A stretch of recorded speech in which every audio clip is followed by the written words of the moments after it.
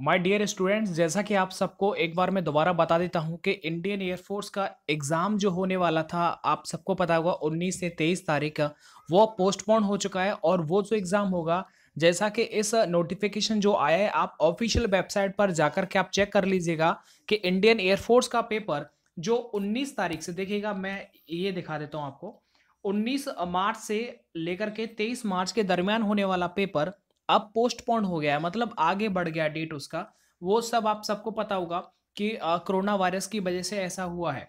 इसके साथ ही साथ अब आपको एक और चीज़ मैं बता देता हूँ, यहाँ पर बोला गया है कि tentatively postpone to the last week of April 2020 इसका मतलब कुल मिला के सीधी बात कि आपका पेपर जो है वो मई के महीने में होगा।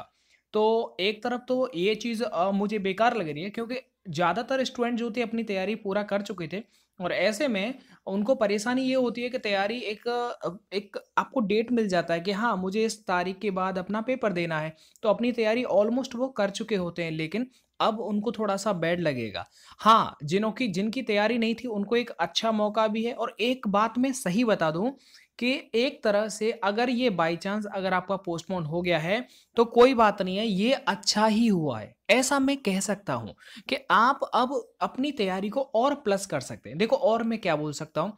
ज़्यादा बोलूँगा तो वो मैं आपको शाम को एक वीडियो आ जाएगा, उसमें मैं आपको पूरी बातें बताऊँगा, लेकिन अभी फ़िलहाल के लिए एग्ज़ाम पोस्टपोन हो चुका है। अब ये पेपर 19 से 23 तारीख के दरमियान नहीं होगा।